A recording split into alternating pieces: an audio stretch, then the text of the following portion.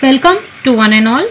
We started with the chapter data structure and we completed basic topics about the data structure. Okay, we completed number of terms and the basic meaning of algorithm and flowchart. Okay, so after this we will do board programs और board algorithms दो program के लिए board में question पूछा हुआ है to write algorithm for those programs so we will do in this lecture. So our first program is write an algorithm to find solutions of quadratic equation ax square plus bx plus c equals to 0.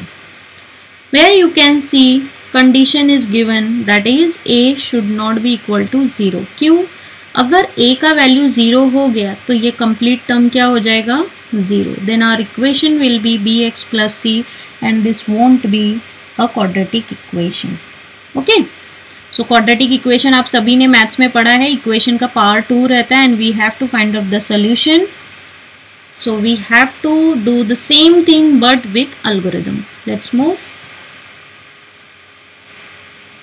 See here. अभी आपने देखा कि वो equation में variable था. Okay A X square plus B X plus C so to find out the root of X we need three values first of all हम अपने maths में पढ़ा होगा ए बी और सी का वैल्यू चाहिए। The formula is like this minus B plus minus square root of B square minus four A C okay four A C upon two A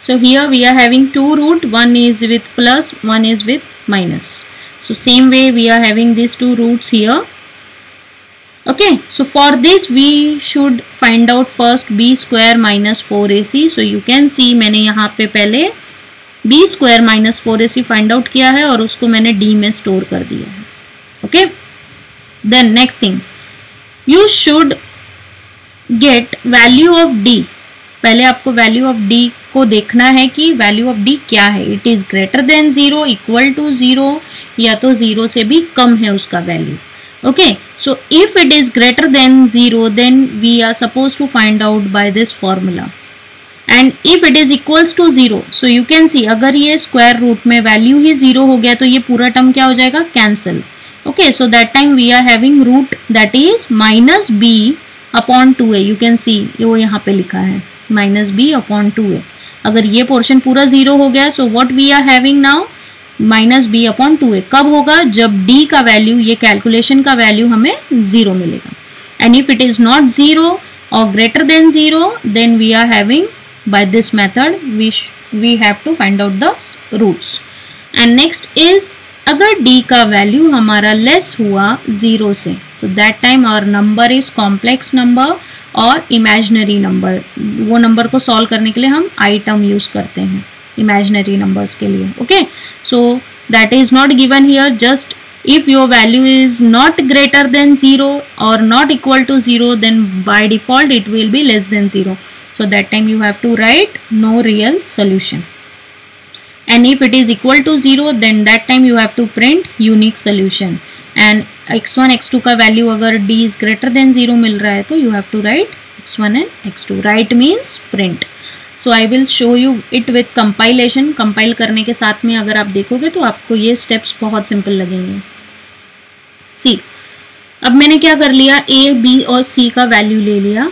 A is two B is six and C is four first thing after this step A B और C मैंने read कर लिया. Now next step is set D B square minus four A C you see B square that is six square is thirty six four A C four into two into four बस आप यहाँ से value लेके solve करो. So it will be value of D will be four okay now the next thing see in algorithm, after finding d, what you have to do?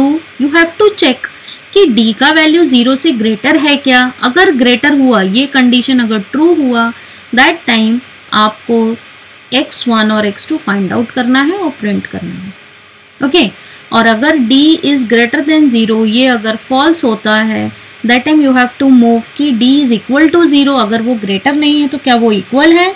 Equal होगा तो you have to execute these two statement if both the condition are false then by default you have to write there is no unique solution okay and step को लिखने के लिए आपने rules देखा था। You have to use this method that is variable name should be in capital then colon, then equal to. Okay? And close your comments in this square bracket. ये square bracket या तो condition चालू होने के पहले लिखना है, या तो एंड में लिखना है। End stop your program by exit step okay last step will be exit clear तो अभी हमने डी फाइंड आउट कर लिया। अब क्या है मेरा? मुझे डी चेक करना है कि वो ग्रेटर देन ज़ीरो है क्या? सो सी हियर डी का वैल्यू क्या मिला मुझे? Four so four is greater than zero true और false yes it is true true है तो क्या होगा? एक्स वन और एक्स टू के रूट्स फाइंड आउट होंगे। Okay so the formula is minus B plus root D minus B means minus six plus root four upon two A A का value is two that will give you four so, minus 6 plus 2 will give you minus 4 by 4 that is minus 1 एक root आपको मिल गया minus one now next one minus B minus दो root कैसे रहते हैं? एक में प्लस रहेगा, यहाँ पे एक में माइनस रहेगा, बस यही चेंज है। Minus B minus root D upon two A that is minus six minus root four upon two A that is four minus six is minus six and root four का value क्या हो जाएगा? Two So minus 6 minus 2 will give you minus 8 divided by 4 which will give you minus 2. So your roots are minus 1 and minus 2. These are the two roots or unique root or unique solution of quadratic equation. Okay.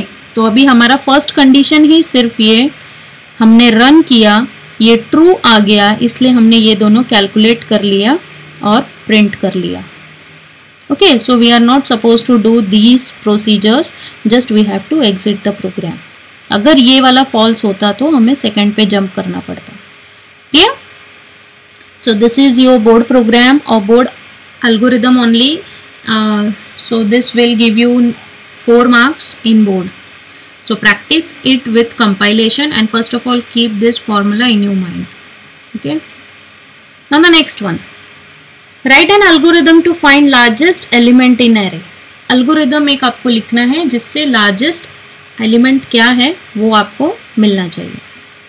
Let's move first of all यहाँ पे मैंने क्या mention किया ऐसे आपको सारे programme में mention करना है that your array name is data total values in array is denoted by N this is your total values L O C is your location L variable use किया है क्या? Location these are your locations ये आपकी क्या है? Locations है, जिसको L variable से हम लोग यूज़ कर रहे हैं। And max is the largest element of data max क्या है? एक हमने वेरिएबल लिया है जिसमें हम लार्जेस्ट डेटा स्टोर करेंगे। Okay so you can see कि यहाँ पे मैंने नंबर्स को शफल किया हुआ है। These are not sorted sorted means ascending order में नंबर्स नहीं है। कैसे भी मैंने रैंडम नंबर्स लिए So let's see how to check. See here, these are the steps. Okay, so write your steps and write the comment in square box before the actual comments, uh, sorry, before the actual steps or end of the step. कभी भी लिखो but comment से क्या होता है आपको programme या जो भी आपका पेपर चेक करेगा उसको आपका अल्गोरिदम रीड करने के लिए इजी हो जाता है okay? so these are the steps and here also I have given the same step okay so I will show you these steps with compilation कैसे run होता है see here this is your value of n so these are the locations 1 2 3 4 5 k equal to one there is one counter k equal to one और मेरा location भी मैं one से चालू करूँगी अगर मुझे कुछ कंपैरिजन करना है तो array deals with consecutive memory location तो मुझे हमेशा वन से ही स्टार्ट करना पड़ेगा। सो so, मैंने कंसिडर कर लिया कि मेरा जो मैक्स है जो सबसे बड़ा डेटा है वो कहाँ है? फोर है। That is data at one ये पहले मैंने कंफर्म मतलब ऐसे ही लिख दिया। एक मान लिया जैसे हम लोग मैथ्स में भी ऐसा सोच के चलते हैं। वैसे same way like we are having seven two eight pencils together but सबको शार्प कर करके कोई पेंसिल छोटी हो गई, कोई बड़ी हो गई। We don't know the size now okay so हम कैसे कंपेयर करेंगे? कोई भी एक पेंसिल को लेके हम बोलेंगे, शायद यही सबसे बड़ी है। सेम वे हम लोग ने एक वैल्यू ले लिया फोर और उसको दे दिया कि यही मैक्सिमम लार्जेस्ट वैल्यू है ओके सो ना repeat step third and fourth means these two steps जब तक ये आपका कंडीशन ट्रू है। दैट इज़ वाइल लूप ये ट्रू है, तब तक आपको रिपीट करना है ये वाला step clear so let's see just put the value. Value of k is 1 in your first compilation, value of k is 1 compared with 5 first वाली वैल्यू को 5 तक हमें चेक करना है। मतलब ये k का वैल्यू 1 है। पहले इसको कंपेयर किया दिस इज़ ट्रू तो ये कंडीशन कहाँ तक जाएगा? 1 to 5 now if max max का वैल्यू क्या है? Four if four is less than data at K data at K क्या है आपका? Data at K is four K का वैल्यू फोर है. Okay so this condition is true और false you can see this is false दोनों तो same है तो उससे छोटा कैसे हो सकता है? So go to step number four now value of K will be now two okay So after fourth, fourth one, you have to again go to while loop. So second compilation में while loop में just put the value of k as 2. 2 compared with 5 true it is. Okay. If it is true तो आपको क्या check करना है max that is four अभी तक max का वैल्यू क्या है four four is less than data at K that is seven data at two okay data at K means data at two क्योंकि के का वैल्यू टू है। सो दिस इज़ ट्रू पहली बार में तो फॉल्स था। इफ़ इट इज़ ट्रू तो हमें ये दोनों स्टेप को एग्जीक्यूट करना है। अगर ये ट्रू हो गया मतलब हमारा मैक्सिमम वैल्यू चेंज हो गया। Okay so location is now two कि लोकेशन टू पे जो डेटा है, वही हमारा मैक्स डेटा है। That is seven clear now again change K now K will be last value of k was 2 now it is 3 so compare 3 in while loop this is true now in next step we have to compare max max का value अब change हो गया है 7 हो गया है 7 is compared with now value at k k का value क्या है 3 3 पे कौन सा डेटा है डेटा एट 3 फाइव है. सो दिस इज़ ट्रू और false so this is false if it is false then अगर ये कंडीशन फॉल्स है तो क्या करना है? सीधा फोर्थ स्टेप में जाना है. So will go to fourth step that is K equal to four now the value of K is four so compare four with five okay so this is true if it is true then you have to change your location and max so my new location is 4 and my max value is 12 मतलब नया location हमें मिल गया है fourth one जिस पे maximum value है that is 12 okay after this you have to increment k now k will be 5 5 is compared with 5 now in next step 5 is compared with 5 this is true if it is true you have to check it with max now the value of max is 12 so 12 compared with data at k k ka value 5 hai to data at 5 data at 5 we are having 9 so this condition is true or false this is false so अब कहाँ जाएगा directly fourth one step पे So now k will be 6. Okay. So if it will go again in while loop, तो अब क्या हो जाएगा while loop में 6 के लिए प्रोग्राम while loop में ये डेटा चेक होगा condition so now this while loop is false 6 is less than 5 or equal to 5 is false so अब हमारा ये step number two three four सब स्टॉप होगा and we have to write location and max value इसका मतलब है अब हमें लोकेशन मिल गया है और हमारे नंबर्स भी हैं जो वो सारे ख़त्म हो गए क्योंकि हमें सिर्फ़ फाइव नंबर्स पे ही चेक करना था। ओके सो और location is print location location is four and max value is twelve तो इसका क्या मीनिंग है? फोर्थ लोकेशन पे एक वैल्यू है 12 and that value is now maximum according to this procedure.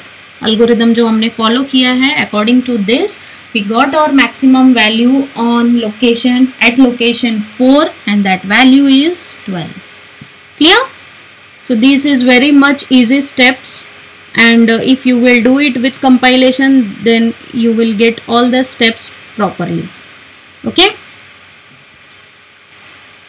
So next will be algorithm for traversing an array with compilation so till that time practice for these algorithms and try to do something and some new programs by your own okay so sometimes अगर board में कुछ change करके भी दिया है तो आप easily कर सकते हो क्लियर और अगर आपको कुछ डाउट है so please mention me through comment और through email okay so practice and we will do this algorithm in our next lecture. Thank you class